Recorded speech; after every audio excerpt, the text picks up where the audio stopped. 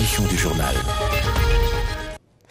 À la une de l'actualité, clôture de la 13e conférence du Forum des parlements de la CRJL à Djouba. Parmi les recommandations, il y a l'envoi d'une mission d'information parlementaire en RDC pour renforcer le processus de paix dans la partie est du pays. Et puis, comment gérer les fonds qu'octroie la Banque mondiale dans le secteur de la santé en RDC Un audit va bientôt être lancé par les inspecteurs de la santé et ceux de la Cour de compte juste après leur formation dans un atelier de renforcement des capacités. Enfin, rouler Kinshasa, plus précisément sur les avenues Kabambaré et Kabinda devient un véritable casse-tête. Des nids de poules se forment. Ajoutez à cela des tas d'immondices et des lacs artificiels avec comme conséquence des embouteillages interminables. Nos reporters ont fait la ronde. Vous le suivrez dans ce journal. Mesdames, Messieurs, bonsoir et bienvenue aux 20h. D'abord, cette mise à la retraite et nomination au sein de la police nationale congolaise à suivre à la fin euh, de ce journal. Les ordonnances du chef de l'État, Félix-Antoine Tshisekedi, porte réaménagement au sein de la police nationale congolaise. Le président de la République a assisté à la présentation d'un nouvel ouvrage dénommé Lettres à ma fille. L'ouvrage est de Alphonse Chilumba. À travers cet ouvrage, l'auteur retrace la vraie vie des Congolais en RDC sous la présidence de Félix Tshisekedi. René Lobo, Coco Molicho et Claude Mbouyi pour le reportage. C'est à 15h30 que le président de la République, Félix Antoine Tshisekedi Chilombo, est arrivé au Fleuve Congo Hotel pour assister au vernissage de l'ouvrage Lettres à ma fille, un livre de 145 pages écrit par Alphonse Chilomba Mouteba, conseiller économique au cabinet du ministre des Finances. Il est fondateur d'Africa Monde, une association de solidarité internationale visant à agir pour que les jeunes Africains trouvent chez eux une formation professionnelle qui leur ouvre un avenir meilleur sur leur propre terre. Alphonse Chilumba Mouteba est diplômé de l'Institut supérieur de commerce de Kinshasa et de l'École des sciences de gestion du Québec à Montréal. L'ouvrage a été préfacé par Emmanuel Kabongo Malou, enseignant-chercheur à l'Université pédagogique nationale. Plusieurs personnalités des mondes politiques, culturels et littéraires ont assisté à cette cérémonie. On a noté la présence de Christophe Mbosso Kodiampanga, président de l'Assemblée nationale, Désiré Cachemire Kolongele Eberand, ministre du numérique, Madame Katumbu Foura, ministre de la Culture, des Arts et Patrimoine. Il s'agit, selon l'auteur de cet ouvrage, édité par les éditions Beau Repère, du partage expérience vécue pour confirmer le vieil adage « Si jeunesse savait, CVS pouvait, dans la mesure où l'expérience des aînés et la force des jeunes donneraient un mélange parfait. L'écrivain a affirmé dédier ce livre à la jeunesse africaine pour qu'elle réhabilite les valeurs du travail et l'effort dans l'entrepreneuriat, notamment celui des aînés. La lettre à ma fille a été portée sur les fonds baptismaux sous les acclamations frénétiques de l'assistance.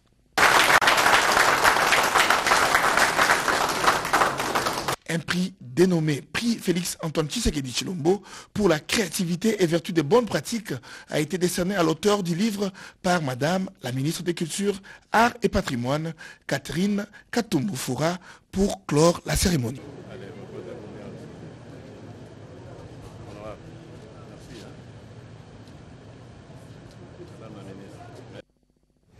Présidé par le président de la République, Félix Tshisekedi, la 92e réunion du Conseil des ministres s'est tenue à la Cité de l'Union africaine, au cours de laquelle le chef de l'État a donné des nouvelles directives sur la vision pour la bonne marche des affaires de l'État, ce avant l'examen des différentes questions liées à la situation sécuritaire à travers le pays. On écoute le porte-parole du gouvernement, Patrick Mouyaya, euh, dans ce compte-rendu. Compte rendu de la 92e réunion du Conseil des ministres. Le président de la République, chef de l'État, a présidé ce vendredi 31 mars 2023 la 92e réunion du Conseil de ministres à la Cité de l'Union africaine, la première depuis le remaniement du gouvernement intervenu le 23 mars dernier. La communication du président de la République, chef de l'État, a porté principalement sur les grandes missions et ses attentes pour ces gouvernements remaniés. Il a centré son message autour de l'observance de principes régissant le fonctionnement du gouvernement comme gage de la rationalisation de l'action gouvernementale.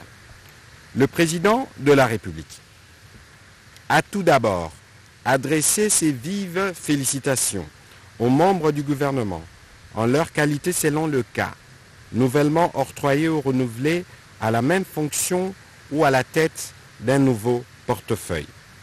Il a également félicité et remercier tout autant les membres sortants pour l'engagement affiché tout au long de l'exercice de leurs fonctions et leur a demandé, au vu de leur expertise et des expériences qu'ils ont pu accumuler, de rester disponibles pour la nation.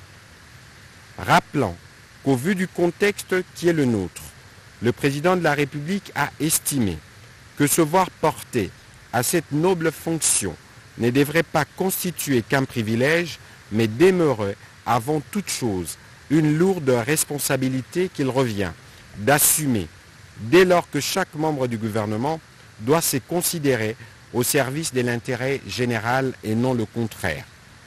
Pris comme un sacerdoce, ceci appelle à l'adoption d'une attitude, d'une perception et d'un mode d'action tout particulier. Parlant de ces remaniements, qui arrivent dans un contexte dominé par des fortes attentes exprimées par nos concitoyens, essentiellement sur les questions sécuritaires et socio-économiques, le président de la République a chargé les gouvernements à œuvrer de concert pour rendre la stabilité du cadre macroéconomique plus solide, visant prioritairement la préservation du pouvoir d'achat par la valorisation du franc congolais, notre monnaie nationale.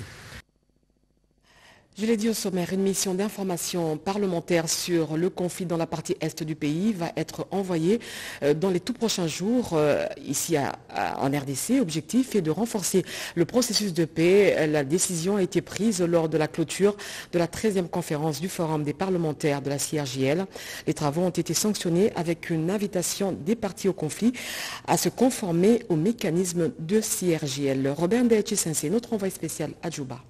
C'est sur une note de satisfaction que la délégation congolaise quitte Djouba après sept jours d'intenses travaux de la 13e session ordinaire des présidents des assemblées des parlements des États membres. La 13e session se clôture après les interventions des présidents de pays membres. Pour Modeste Batiloukwebo, président du Sénat, il est temps que cessent les hostilités. Il a été rejoint par le premier vice-président de l'Assemblée nationale, le professeur André Mbatabetukumesu, qui a fait une mise au point sur la réformulation de certains amendements proposée par la République démocratique du Congo. La crise à l'est de la RDC a pratiquement dominé les débats. Les présidents des États membres ont examiné point par point les projets de résolution pour les pays en conflit. Une note positive, tous les amendements proposés par la RDC ont été retenus. La plénière a constaté la détérioration persistante de la situation sécuritaire et humanitaire dans la partie est de la République démocratique du Congo et a invité les partis en conflit à se conformer aux décisions du mécanisme de la conférence internationale pour la région de Grand Lac. Notre pays doit être pris sérieusement en compte dans les discussions sur la paix dans la région de Grand Lac.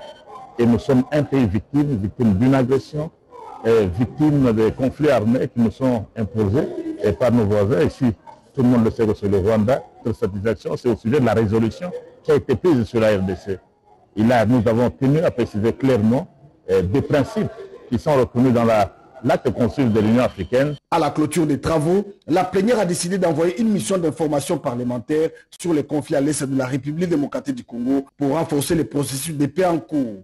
Avant de s'envoler pour Abidjan, le premier vice-président de l'Assemblée nationale, le professeur André Mbatabetukumesu a visité le siège de la représentation diplomatique à Djouba, les appartements des diplomates C'est vers 16h50 que le numéro 2 de l'Assemblée nationale s'est envolé pour Abidjan, capitale de Côte d'Ivoire, où s'ouvre ce lundi 3 avril 2023 la 14e conférence des présidents d'Assemblée et des sections de la région Afrique de l'IPF.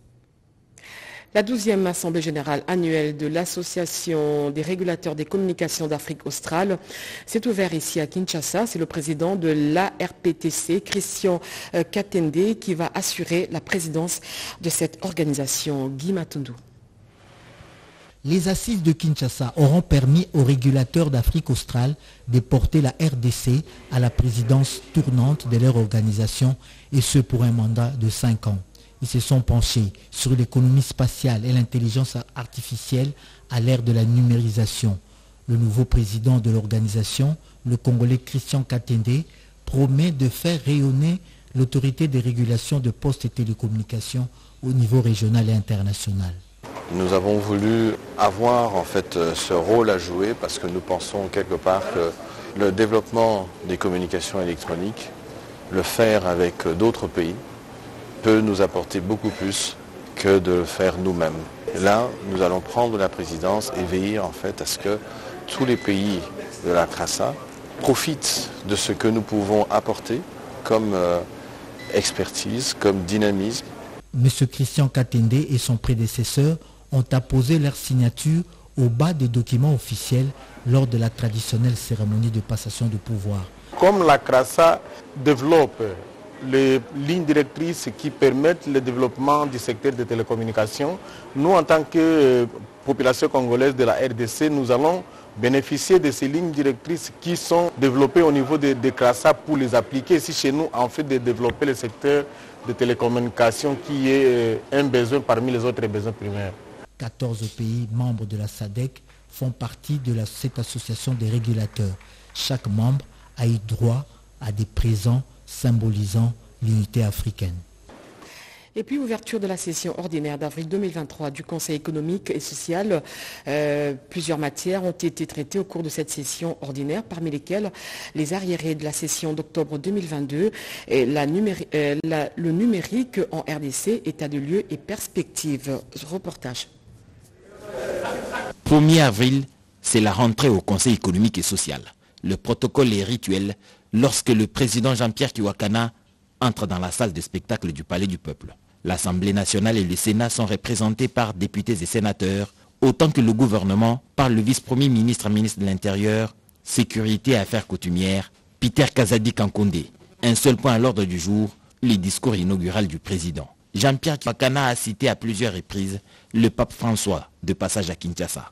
Vous êtes un diamant spécial de la création, disait entre autres le Saint-Père a insisté le président du Conseil économique et social. Des messages qui rappellent la responsabilité de chaque Congolais et les interférences étrangères. D'autres sujets sont revenus dans cette adresse, comme la rigueur qu'il faut pour les facultés de médecine dans les universités, la mise en valeur réelle de l'agriculture et la sous-traitance extravertie dans les secteurs miniers. C'était avant qu'il ne déclare ouvert les travaux de cette session d'avril. Le peuple congolais est un peuple de diversité qu'elle soit ethnique, philosophique ou linguistique. C'est notre implication dans les projets communs d'un Congo en paix, prospère et unique qui nous rend dignes d'être Congolais. La survie de la nation exige que nous lui donnions le meilleur de nous-mêmes. Voilà pourquoi désormais nous devons intégrer, je le dit, la notion de compter sur nous-mêmes avant tout, sur nous-mêmes après tout, et sur nous-mêmes par-dessus tout. Sur ce, je déclare ouvert les travaux de la première session ordinaire du Conseil économique et social de l'année 2023. Pendant deux mois, les conseillers de la République se mettront au chevet des questions importantes de notre société pour des préavis et des avis aux institutions indiquées. Jeudi au sommaire, l'état de délabrement des routes Kabambaré et Kabinda se trouve dans un état de délabrement très avancé. Ajoutez à cela des nids de poules qui se sont formés sur ces artères principales avec pour conséquence les embouteillages énormes. Nos reporters Toto Tsungu et Bijou et Kamba sont descendus sur les lieux. Ils ont recueilli le cri d'alarme de la population qui plaide pour la réhabilitation urgente de ces routes. Regardez. Réhabilitation de la voirie de la ville de Kinshasa, un défi que le gouvernement Sama 2 est appelé à relever, surtout en cette période de pluie. C'est le cas de l'avenue Kabambar dans la commune de Kinshasa, aujourd'hui dans un état impraticable. Les usagers en ont ras-le-bol. Notre route Kabambar est détruite parce qu'il n'y a plus de route. Mais nous payons les taxes et les documents. Canalisation Ce sont des routes qui nécessitent la canalisation. Cette route est détruite par la négligence.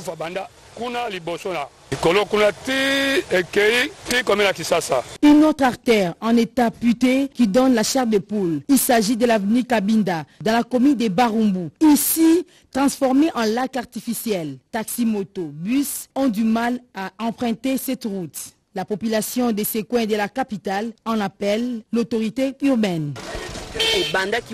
Elle s'est détruite petit à petit jusqu'à ce que ça s'est empiré.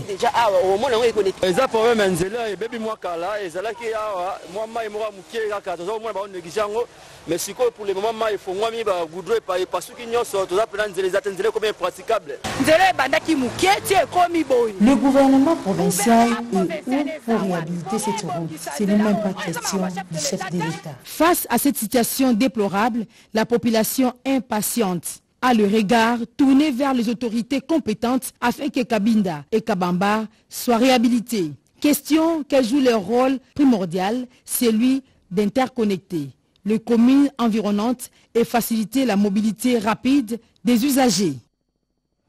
Il y a quelques jours, la Chambre basse du Parlement avait euh, voté euh, la prorogation de l'état des sièges dans les provinces du, de l'Itourie et du Nord Kivu pour 15 jours.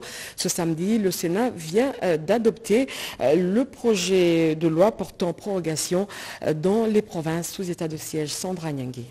C'est pour la 45e fois cette prorogation de l'état de siège dans une partie du territoire national. Déjà votée à l'Assemblée nationale, cette loi a été présentée à la Chambre haute du Parlement par la ministre de la Justice et garde de Sceaux, Rose Mutombo, au cours d'une plénière présidée par le premier vice-président du bureau du Sénat, Edi Mundela Kankou. Sur 109 membres qui composent le Sénat, 78 membres ont pris part au vote. 74 membres ont voté oui, 3 membres ont voté non, un membre a voté abstention. En conséquence, le Sénat vote le projet de loi portant autorisation de la prorogation de l'état de siège sur une partie du territoire de la République démocratique du Congo. Je signale que ce texte de loi sera transmis au président de la République pour promulgation. La plénière a été ponctuée par deux motions d'information. La première était celle de la sénatrice Francine Mouyumba qui a informé la plénière sur l'escalade de l'insécurité dans la province du Haut-Katanga. La seconde motion, celle du sénateur Kaumba, a permis à celui-ci de parler du dossier Sicomine. Le premier vice-président Edi Mundela Kankou a demandé aux auteurs de ces deux motions de saisir le bureau du Sénat afin d'obtenir plus d'explications des autorités concernées par ces dossiers. Désormais, les entrepreneurs congolais en herbe euh, ont un cadre de connexion avec euh, le panel d'investisseurs dénommé euh, Propulsion Space. le lancement a eu lieu en présence du premier vice-président de la Chambre du Parlement. Breakfast Connection est un cadre d'opportunités d'affaires et de coaching pour les entrepreneurs en herbe. Pour célébrer son dixième anniversaire, il a organisé une soirée pour lancer sa nouvelle plateforme axée sur le financement des entrepreneurs et projets dénommés Propulsion Space. Pour introduire cette plateforme, le lobbyiste et stratège Patrick Onoya a axé son intervention sur les modèles de croissance basés sur la création des effets de levier. À cet effet, Patrick Onoya a interpellé les pouvoirs publics à changer sa vision des croissances, c'est-à-dire les concepts croissance doit migrer de l'État pourvoyeur vers l'État incitateur des secteurs privés pour créer des millionnaires congolais. Il est très important que le secteur des marchés financiers puisse se développer en République démocratique du Congo. Le fait que la République démocratique du Congo importe chaque année plus de 2 milliards de dollars, je répète 2 milliards de dollars, c'est trop. Pas une stratégie d'industrialisation par substitution aux importations. Si nous nous fixons un taux de substitution par exemple de 10%, il est possible de récupérer 200 millions par mois pour injecter dans le circuit économique. Et cela peut permettre de créer 200 millionnaires si nous avions une production d'un million par Congolais. Ici, j'ai présenté les conditions nécessaires et suffisantes pour effectivement espérer cette croissance ou encore avoir les millionnaires dont le chef de l'État a besoin de voir se matérialiser. Le professeur Carlos Caninde, expert en comptabilité, s'est apaisanti sur les circuits bancaires. C'était aussi l'occasion pour les promoteurs des Breakfast Connection, Anthony et son équipe de remercier ses partenaires. Grogne aux affaires étrangères. Le vice-premier ministre, ministre des Affaires étrangères, a pris langue ce samedi avec les grévistes. Christophe Lutundula appelle ces derniers à reprendre le service dès ce lundi et promet de s'impliquer. Un appel qui a reçu un écho favorable. Doris Mozo et Henri Amaury. Il a promis de rencontrer les grévistes samedi dans la matinée. Ces choses faites, aussitôt rentré de sa mission en Zambie, le vice-premier ministre, ministre des Affaires étrangères et de la francophonie, Christophe Lutundula Palapena Pala, a accordé du temps à une délégation de syndicalistes pour entendre leurs revendications. Avant de les écouter, le numéro 1 du ministère a fustigé les comportements des grévistes lors du passage du chef du gouvernement dans l'enceinte du ministère et a promis des sanctions sévères aux coupables. Le problème est connu, a-t-il dit, faut maintenant sortir l'intelligence et imaginer des stratégies pour trouver comment répondre aux revendications. L'application totale de la grille barémique qui devait être appliquée en 2023 est la principale revendication. Sur 1400 agents, 939 seulement touchent la prime. Nous l'avez dit, nous avons parlé, une solution est trouvée. Beaucoup de choses qui échappaient à leur euh, attention. Lorsque nous parlons de l'application totale de la nouvelle grille barémique, contresignée aussi par le budget, nous prenons en compte tous les nouveaux matriculés. Il a plu donc à son Excellence le VPM de signer des, grilles barémiques, une grille des de, grilles barémiques reprenant tout le monde. Il est un homme euh, épris de paix. La commission dont vous parlez, nous allons la constituer nous finirons toujours par trouver une solution dans un plus bref délai. Après les avoir écoutés, séance tenante, le vice-premier ministre, ministre des Affaires étrangères et de la francophonie a proposé la mise en place d'une équipe de suivi qui sera dirigée par le vice-ministre des Affaires étrangères présent dans la salle Crispin Mbadou. Et toujours au ministère des Affaires étrangères et de la francophonie, le vice-ministre Crispin Mbadou, qui a pris officiellement ses fonctions, a assisté à la remise reprise de Didier Manzenga, ministre sortant de l'intégration et de la francophonie, et Christophe Lutundula Palapena Pala, vice-premier ministre, ministre des Affaires étrangères et de la francophonie. Christophe Lutundula Palapena Pala a dit être conscient du grand défi qui l'attend, l'organisation des 9e Jeux de la francophonie. Et puis l'Agence des zones économiques spéciales sensibilise les entreprises congolaises de la FEC sur l'évaluation de la zone économique spéciale Poul Kinmalebo. L'objectif est d'octroyer à l'entreprise Sitki, fruit d'un partenariat public-privé, le statut d'aménagère pour la viabilisation de la zone.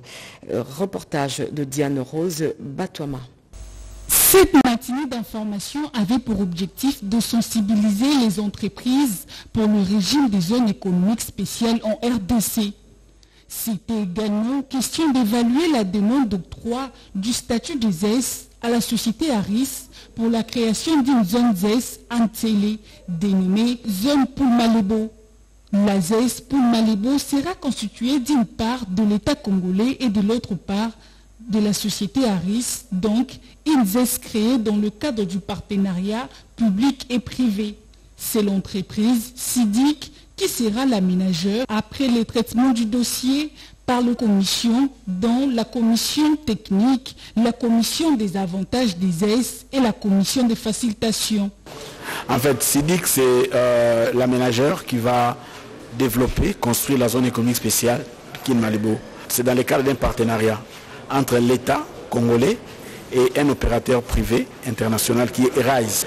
C'est un groupe qui est assez euh, outillé par rapport aux zones économiques spéciales parce qu'ils les font au Gabon, ils les font au Togo, ils les font au Bénin, ils les font au Nigeria et en Côte d'Ivoire. Ils sont déjà au Congo-Brazza ici. Ils sont aussi intéressés par la RDC. C'est pourquoi ils sont venus. Depuis l'année passée, au mois de septembre, le gouvernement a signé un accord cadre avec ERISE et c'est dans le cadre de cet accord cadre-là que ce projet de zone économique spéciale euh, de Kin Malebo a été, a été finalement décidé. Après avis favorable de l'Agence des zones économiques spéciales, il sera attribué à RIS le statut officiel de l'aménageur sous les labels de SIDIC. Effectivité de la mutualisation des opérations d'enrôlement, d'identification et de recensement de la population, le directeur de cabinet euh, du Premier ministre, Paul Gaspard, a visité les entrepôts du Bureau central de recensement Pati Tondouangou pour le reportage. Les différents entrepôts du Bureau central des recensements gérés par l'Institut national de la statistique ont reçu ce samedi 1er avril 2023 la visite du directeur des cabinets du Premier ministre Jean-Michel Samaloukonde Kienge, président du comité de pilotage de la mutualisation des opérations d'enrôlement, d'identification et de recensement de la population. Paul Gaspard Gondakoy a été mandaté par les chefs du gouvernement pour se rendre compte de l'état des matériels stockés en vue du démarrage des opérations en République démocratique du Congo. Un tour à l'entrepôt a permis à l'émissaire du chef du gouvernement de s'enquérir de la situation. Un lot important composé de 1550 motos, plus de 50 véhicules et 5000 vélos, des casques, mégaphones et autres matériels sont entreposés, prêts à être utilisés pour ces opérations. Chose qui a permis à Paul Gaspard Gondakoy de rassurer la population quant au respect du délai de démarrage des opérations d'identification et de recensement de la population. Ici, il y a des véhicules, il y a des motos, il y a des vélos, il y a des matériels pour le personnel qui va être déployé, les casques, les mégaphones, les sacs de couchage, les, les bottes pour permettre le déploiement du personnel à l'intérieur. Nous allons rendre compte à son Excellence, Monsieur le Premier ministre, de ce que nous avons trouvé, les différents problèmes que nous avons rencontrés sur le terrain, notamment par rapport aux, droits des bailleurs. Nous allons rendre compte au gouvernement et d'ici là, le gouvernement prendra une décision pour mettre en branle tout ce système et que nous puissions atteindre les objectifs qui ont été assignés. Cette visite du directeur des cabinets du Premier ministre a été qualifiée de réconfort par le Bureau central des recensements. Bien que euh, ces matériels ont pris un certain nombre de temps dans ces entrepôts, avec euh, euh, un peu d'entretien, ces matériels seront utilisables sur le terrain. La CENI joue convenablement sa partition dans le cadre de la mutualisation à renchérir son représentant. Nous avons fait notre phase de cartographie et ces matériels-là sont prêts à être déversés au BCA pour la suite des opérations. Non seulement le matériel, mais aussi les données que nous avons collectées lors de cette opération de la cartographie et même pour l'enrôlement. Nous allons les déverser aux autres institutions pour la poursuite de leurs activités. Le gouvernement est que déterminé à organiser les opérations de recensement de la population partout en République démocratique du Congo. Volonté du chef de l'État Félix-Antoine Tshisekedi Chilombo. En politique, le secrétaire général adjoint de l'UDPS en charge des questions politiques et administratives euh, a sensibilisé les Sud Kivusiens à un enrôlement massif pour les échéances électorales de 2023. Pour Deo Bizibou, la réélection de Félix Tshisekedi est une majorité dans, et une majorité dans les deux chambres du Parlement vont permettre au chef de l'État de briguer un deuxième mandat. Regardez. Le général adjoint de l'Union pour la démocratie et les progrès social UDPS, Deogracias Bizibu Balola, a effectué dernièrement dans l'Est de la République démocratique du Congo, plus précisément à Bukavu, une visite de travail et de sensibilisation auprès des membres des différentes bases dans cette ville. Le constat est sans équivoque car cette visite politique était très bénéfique et riche d'enseignements. En effet, au moment où profilent à l'horizon les enjeux politiques, les combattants de l'UDPS se posaient multiples questions partout où le secrétaire général adjoint Bizibou est passé. Il fallait donc réinquinquer tous ces collégionnaires d'Augustin Kabouya en leur assurant que la RDC ne sera jamais déstabilisée et que tous les Congolais derrière les grands de la nation, Félix Antoine Tshisekedi de Tulomo, vont défendre la patrie et sa souveraineté en toutes circonstances. En la salle, Marie-Claire Andendere, le secrétaire général adjoint Bizibou, a calmé les membres concernant les activités mafieuses de certains groupuscules qui veulent s'aimer les désordres au sud Kivu. En effet, il est pratiquement établi que des individus, se disant mouvements citoyens, reçoivent de l'extérieur de l'argent à travers des ONG reconnues pour semer la panique et les désordres. Ces mouvements préparent à Bukavu et aux alentours des projets de déstabilisation. Le secrétaire général adjoint Bizibou avec les siens ont appelé la population à la vigilance. Autre temps fort, l'adjoint d'Augustin Kabouya a eu une séance de travail avec les deux présidiums des comités fédéraux de Bukavu et Sud Kivu Rural. En toile de fond, impulser la cohésion entre les membres du parti pour porter haut l'étendard de Félix Antoine Tshisekedi de Chulombo en toutes circonstances. Le secrétaire général adjoint Deo Bizibou, à l'occasion de son passage à Bukavu, a en outre insisté sur l'attachement des chefs de l'État à cette ville. C'était au cours de la réunion avec les deux bureaux des deux comités fédéraux et les mandataires du parti. Partout où il est passé, l'accueil était très délirant en faveur du secrétaire général adjoint Deo Gracias Bizibou Balola. Les leaders des chefferies de Kouinja et Bourigny au sud Kivu s'engagent à soutenir la vision du président de la République. Félix Tshisekedi, c'est à l'issue d'une sensibilisation sur la paix et l'enrôlement massif des électeurs. Le périple est long. 24 jours, l'autorité morale statutaire de l'Alliance des nationalistes pour un Congo émergent, ANS, Norbert Bassengé Zikatintima s'emploie à faire adhérer massivement les filles et fils du Sud Kivu à la vision du chef de l'État Félix-Antoine Tshisekedi Chilombo. Après Kamituga, il est reçu chaleureusement à Bourigny par une population nombreuse, avec à sa tête le Mwami de cette chefferie. L'accueil est on ne peut plus délirant, avec de groupes locaux d'animation culturelle à l'honneur de la mission du parti ANS. Le cortège prend la direction du centre de Bourigny lieu de l'adresse publique. C'est le moment pour ce grand notable et baoba de la RDC de dévoiler l'objet de cette itinérance. Je vous apporte un seul message, celui de soutenir les actions du chef de l'État Félix Antoine Tshisekedi. Ma formation politique est dans l'union sacrée.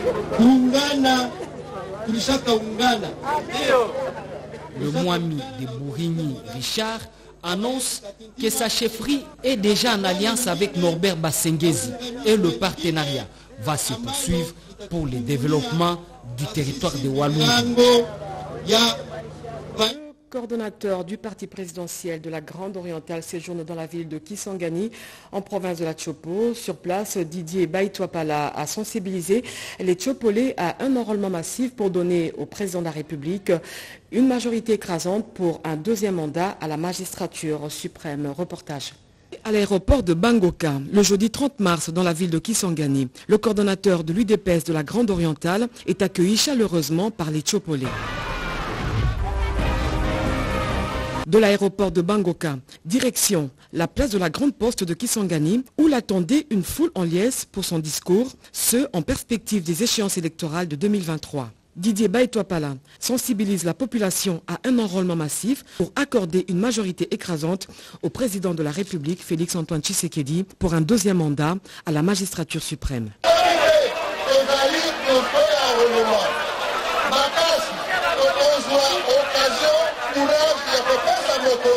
Mon message est le suivant. Si vous vous enrôlez massivement, nous allons accorder au président de la République un deuxième mandat pour 2023.